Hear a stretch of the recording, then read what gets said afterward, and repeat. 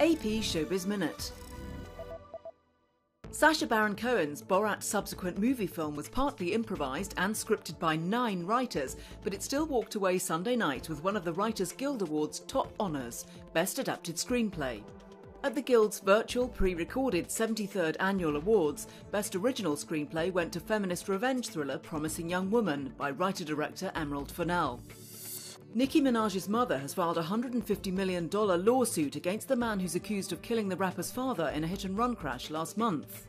Charles Polofsky is accused of striking Robert Maraj on Long Island and driving off without calling 911. Polofsky has pleaded not guilty to criminal charges. Disney's Raya and the Last Dragon topped the US box office this weekend.